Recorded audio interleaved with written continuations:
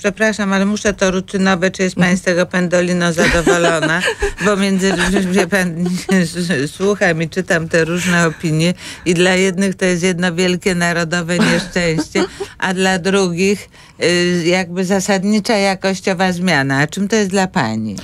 Dla mnie jest czymś bardzo pośrodku. Ja, ja już kiedyś, jak, jak zaczęłam pracować w zarządzie PKP-u, jak przez jakiś czas pełniłam e, funkcję szefa PKP-u, to wszystkim mówiłam, że ja nie jestem miłośnikiem kolei, nie, nie ekscytuję się koleją, traktuję kolej jako coś bardzo użytkowego.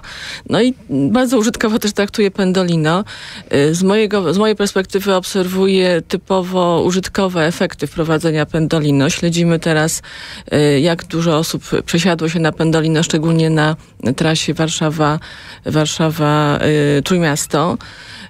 Y, Pendolino nie jest projektem samym w sobie. On jest częścią projektu y, obniżenia czasu przejazdu między dużymi miastami w Polsce. I to jest część tego projektu. Więc ja patrzę na ten projekt jako na całość i jako element takiego systematycznego podwyższania standardu podróży, który się nie robi skokowo. Znaczy, Pendolino jest pewną skokową jakością, bo jest nowy typ y, pojazdu, ale to nie jest coś, co zadecyduje o, o, całości odbioru w jakiejś dłuższej perspektywie transportu kolejowego, pasażerskiego w Polsce. Ale ma pani świadomość, że jak przyjdzie pierwszy mróz i to stanie, to nie, oberwie pani po no, głowie? Ja mam świadomość, że mogę oberwać w każdej chwili. To już się przyzwyczaiłam do tego. Praca na kolei mnie do tego przyzwyczaiła. No trudno, no to, to jest moje jakieś tam ryzyko zawodowe, ale z drugiej strony wiem też, że jakieś spokojne wytłumaczenie i dotarcie z takimi spokojniejszymi parametrami tego przedsięwzięcia też znajduje słuchaczy, więc zawsze jest do kogo mówić i, i tłumaczyć się, e, o co w tym wszystkim a na razie cieszy się powodzeniem ten pociąg wśród y, pasażerów? Cieszy się. Cieszy, cieszy się. się.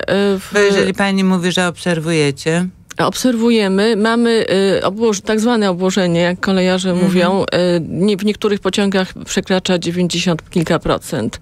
To zależy też od pory. Y, raczej patrzymy też na obłożenie linii.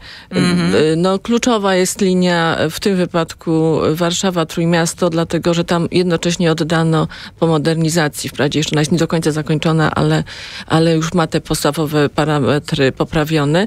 No i tam drastycznie się zmniejszył czas przejazdu. Tak. W związku z tym y, liczba osób korzystająca z tego połączenia, również które częściowo składa się z starych pociągów, już teraz sięgnęła 130% do porównywalnego okresu sprzed roku.